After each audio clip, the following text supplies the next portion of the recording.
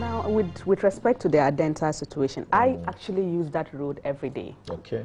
And each morning, and each morning when I'm going to work, and each, each evening when I'm returning from work, I keep asking myself one question: Who oversaw the construction of this road? I've always every day, I wonder because I, I see firsthand the way they risk the police put themselves into trying to control traffic. And I would give credit to the police when it comes to that. They do their best and they put their own lives at risk. I see the people trying to earn their daily bread, trying to cross over to do business, and then struggling with cars. And all the time I ask myself, so who oversaw this? Who opened up this uncompleted road for use every day?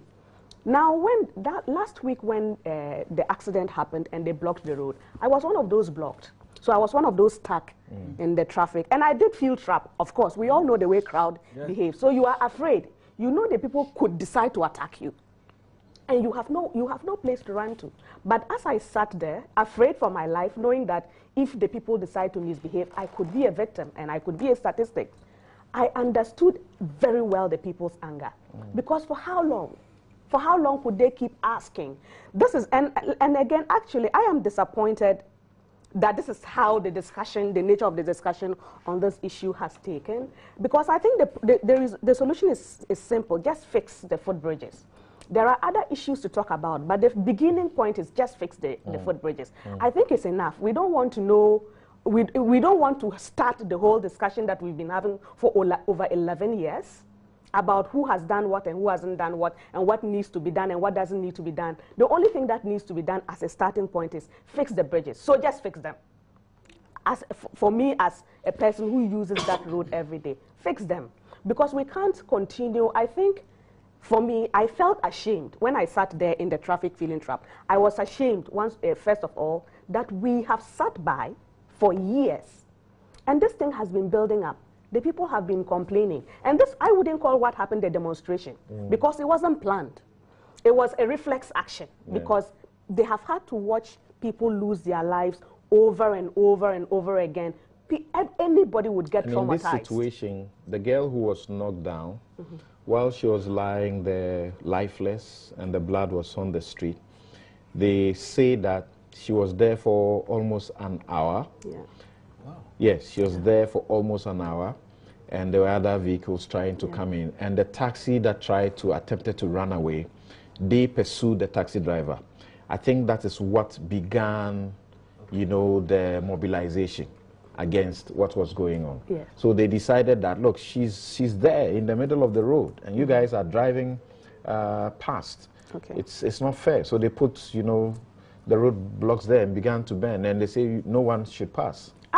I didn't blame mm. them. I, Like I said, I understood them. If they had hurt me that mm. day, I, I would have understood them. And I still wouldn't have blamed them. If they had hurt me that day, it was not their fault. It was the fault of leadership. Because it is leadership that has sat by, allowed things to deteriorate, and then pushed the people to the wall, and they just reacted. So I would have just been a victim of failed leadership it would I wouldn't have been a victim of unreasonable people. The people were not being unreasonable. Mm. I think it is very human that if you have witnessed something over and over again, you get traumatized, and it was it was really a reflex action. So for me, this I as for this foot bridges, like I say, I really don't want any long statements. I don't want any long expressions of condolences and sympathies. If you really care about the, the, the lives, let's show that we care. And the only way we show that we care, fix the bridges. When you fix the bridges, the other issues will come up. The issue of education. I always have a problem with, with, with us that we sit and complain about how ignorant our people are. I can understand if private persons do that. But if you are in the position of leadership, you don't have the luxury to complain about the ignorance of your people. If you identify that your people are ignorant, it's a problem. And your job is to find a solution. So if your people are ignorant, you know what the solution is. Is to educate them, enlighten them. so I, I, I get concerned that each year we keep recycling the same things and I actually have lost interest in some I'm of these told discussions by any an longer. expert that there was nothing wrong in opening the road to traffic at the point it was. Okay. This is what the person says. He's an expert and is within the road. Um, the road industry. Okay. He says the accidents are not because, they, because of the absence of the footbridges. Okay. They are the function of officers failing to make the roads safe despite the absence of the footbridges. The recommendations that have been made to them, including recommendations made by the, uh, the board responsible for roads, um, make it clear that there were steps that they could take, including providing traffic lights in the sections that were needed, clear markings. Okay. And there are other suggestions that have been made by Occupy Ghana and also uh, the Joy Super Morning Show. They are all when, part of when it. you use that road, do you share the view that in the absence of the footbridges, something could have been done? First of all, I always say that I have a problem when there's a simple solution to a problem, and then we like to theorize and look at other possibilities and um, eventualities. I use that road every day.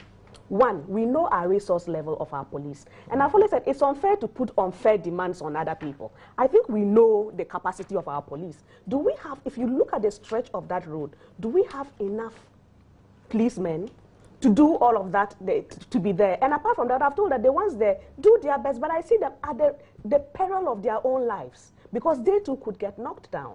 The first and foremost thing is what But was there's, there's, there's a long stretch that you don't find the police. yes, And there are other entrances and exits that you don't find the police. Completely, nobody is there. For me, I have driven through the place mm. and I've had times to ask myself, you know, look at children who want to cross.